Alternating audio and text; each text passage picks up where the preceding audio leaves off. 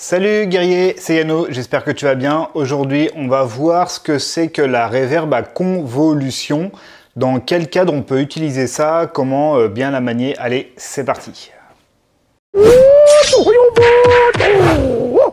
Avant de commencer, abonne-toi à la chaîne si c'est pas fait et mets un petit potard vers le haut hein, pour soutenir cette vidéo. Alors, tu, tu peux t'abonner là et mettre la cloche comme ça là pour voir toutes les notifications pour être sûr de pas rater les prochaines vidéos. Allez, c'est parti, on parle de réverb à convolution. Qu'est-ce que c'est qu'est-ce que c'est que ce truc bizarre? Alors, la réverb, la réverbération, euh, je vais pas rentrer dans les détails, mais euh, pour faire très simple, ce sont c'est les caractéristiques acoustiques d'un environnement qui diffèrent d'un lieu à l'autre. Par exemple, si tu crées le même son, admettons que tu tapes des mains, si tu fais exactement ce même son, tout pareil, au même volume, dans les mêmes conditions, dans une cathédrale ou au milieu d'un champ, tu auras un rendu sonore qui sera vraiment différent, alors que le signal d'origine était le même. Alors, quand on veut euh, appliquer de la réverbération dans une compo, dans un morceau, c'est pour justement traiter un petit peu le placement de l'instrument dans l'espace, d'accord On va pouvoir donner un petit peu plus d'ampleur également à un instrument, on va pouvoir le mettre en valeur ou pas par rapport à d'autres instruments, en partie grâce à euh, de la gestion de réverbération. Il y a deux types de réverbération, enfin il y a au moins deux types en tout cas de réverbération qu'on peut utiliser pour les pour le mixage ou le mastering euh, dans nos morceaux. Il y a donc il y a les, les réverbes algorithmiques qui sont générés par un plugin, d'accord, qui sont juste des calculs. Et pour t'illustrer ça, je vais te montrer euh, là dans cette session, j'ai un son de basse qui est un plug. Voilà. Là, euh, donc ça c'est le, on va dire que c'est notre signal d'origine. Une réverbération algorithmique, je mets sur on. Il y en a une ici dans FL Studio, donc ça c'est un plugin qui est natif, qui s'appelle Fruity Reverb 2. Et donc tu vois, en fait, on a différentes caractéristiques. Là, on voit une représentation en 3D de la pièce dans laquelle on serait en train de jouer l'instrument.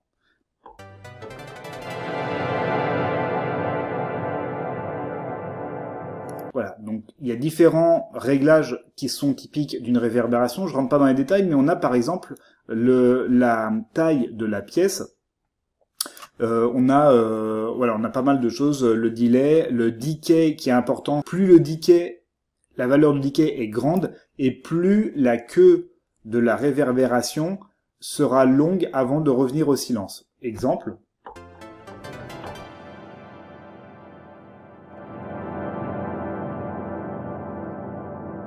Voilà, là tu vois on a un decay qui est très très long, je l'ai mis au maximum, d'ailleurs j'ai dû couper le son tellement c'était long. Maintenant si je mets un decay très très court,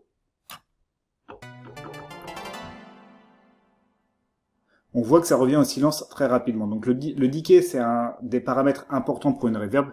Il y en a d'autres, je rentre pas trop dans, les détails, mais en tout cas, ça, voilà, ça, c'est typiquement une reverb algorithmique. Donc c'est une reverb, une reverb complètement artificielle qui est créée vraiment à partir de zéro, qui peut donner déjà des résultats très intéressants. Hein. ça, peut très très bien fonctionner. C'est un petit plugin qui paye pas de mine, qui est déjà très très bien pour FL Studio. Mais euh, là, ce qui nous intéresse, c'est les reverbs à convolution. C'est le, le principe euh, de base, il est différent. En fait, c'est pour ça que j'étais sur cette euh, photo. En fait, ce qu'on va faire, c'est qu'on va faire du, euh, du sampling, si tu préfères, c'est-à-dire qu'on va enregistrer le, un son dans la vie réelle. Là, on a une illustration, par exemple, où on veut récupérer la réverbération de cette pièce.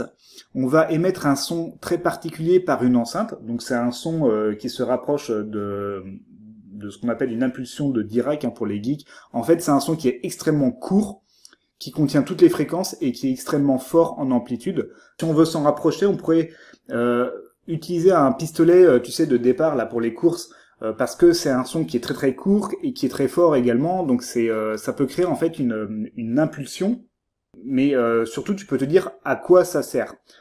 En fait, ce qui est, ce qui est intéressant avec les réverbes à convolution, c'est que, étant donné qu'on est dans une vraie pièce, on va pouvoir euh, récupérer les caractéristiques acoustiques de cette pièce pour les transposer à notre instrument, par exemple un piano, une flûte, peu importe, de manière à ce que quand on joue l'instrument avec la réverb à convolution, eh bien cette réverb convolution, elle applique les caractéristiques acoustiques de la pièce dans laquelle a été enregistrée l'impulsion de départ, d'accord? Donc on va pouvoir simuler, si tu veux, l'acoustique de la pièce dans laquelle a été enregistré euh, le, son d'origine. D'accord? On va pouvoir appliquer l'acoustique de cette pièce à n'importe quel son. Donc en gros, par exemple, imagine tu veux, euh, je sais pas, tu joues, euh, tu joues un piano, ce que tu veux dans ta session là, et tu voudrais que on entende ton son comme si on était dans cette pièce-là, ou dans euh, la cathédrale,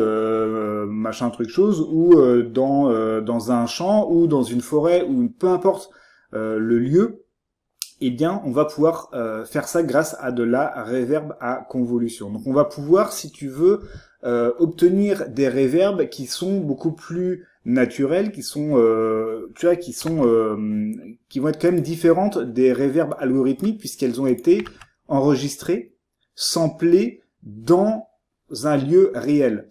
Donc là, par exemple, on peut récupérer l'acoustique de cette pièce. On émet le sweep, donc le signal d'origine avec cette enceinte, boum, on récupère le signal dans un micro ici, et entre-temps, on a eu la réflexion, enfin la réverbération, donc la, somme de toutes les réflexions du signal d'origine sur le sol avant d'arriver sur le micro, sur les parois, sur les côtés, sur les murs, sur le, sur le plafond, etc., avant d'arriver au micro. Donc dans le micro, on va avoir le signal d'origine plus toutes les réflexions cumulées euh, dans cet espace réel. Voilà. Donc on va pouvoir récupérer ces caractéristiques pour les appliquer à notre euh, à notre euh. Voilà. Là, je te montre vite fait Altiverb. Ça, c'est un, un plugin de euh, comment dire de de reverb comme ça à convolution. Hein.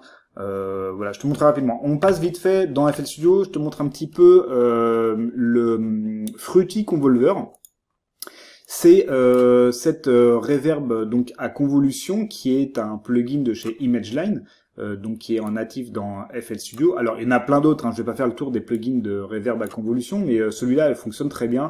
Je vais pas te faire une démo trop exhaustive, juste regarde dans les presets, sachant que ce sont les presets en natif, hein, j'en ai pas rajouté, donc il y en a déjà plein, et tu vois qu'on peut choisir l'environnement parmi, euh, tu as un auditorium, euh, un warehouse, donc c'est un entrepôt. Euh, si tu veux, donc tu as un entrepôt, on peut imaginer. Après, il faut tester, hein, mais on peut imaginer que dans un, entrepôt, si tu veux, euh, je sais pas si tu fais de la techno par exemple et que tu veux que ça résonne, euh, qu'il réverbe comme comme dans un entrepôt, dans un hangar, hop, ça peut convenir. En tout cas, ça peut être bien de le tester.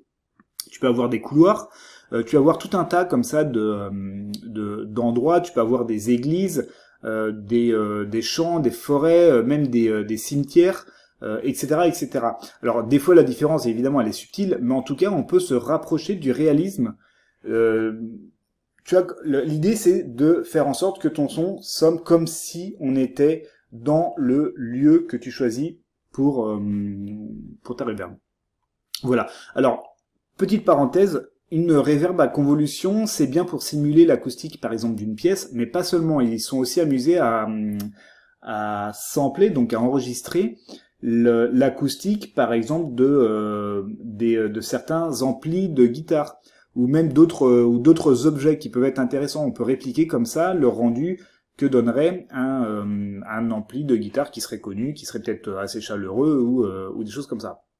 Donc voilà, je, peux te faire quelques exemples vite fait là de... Donc ça, c'est sans reverb.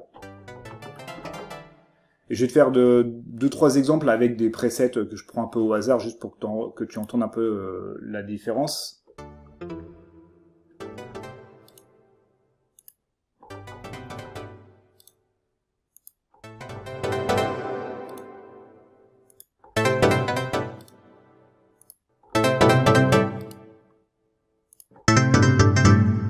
On voit que ça colore énormément le son. Hein.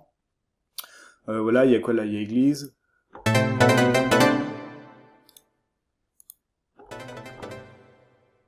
Bon voilà, je vais pas tous les faire. Alors, en gros, euh, quand est-ce qu'on utilise ça? La reverb, donc on peut l'utiliser au mixage ou au mastering.